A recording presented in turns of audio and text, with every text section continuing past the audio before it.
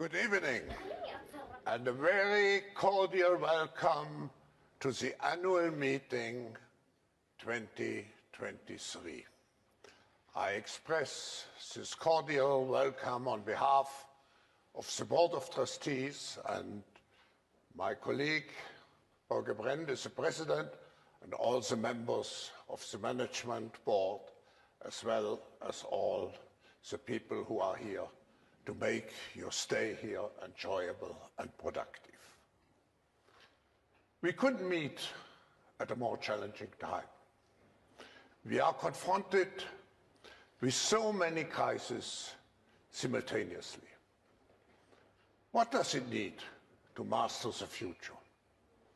I think to have a platform where all stakeholders of global society are engaged governments, business, civil societies, the young generation, and I could go on, I think is a first step to meet all the challenges.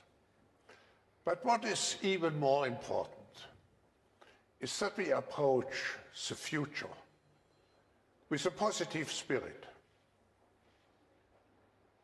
with a spirit which reflects human creativity and ingenuity.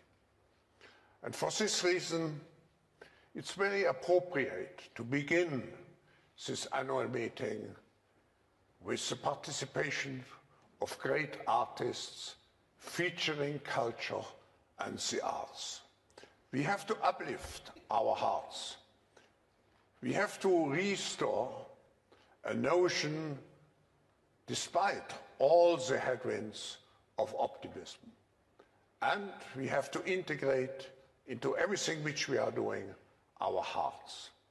Only if we are involved with all our passion to construct and to shape the future, I'm convinced we will overcome the present multi-crisis. So Again, a very cordial welcome, and I would like to ask Hilde Schwab to come up and to introduce our great artists who will be honored with the Crystal Award this evening.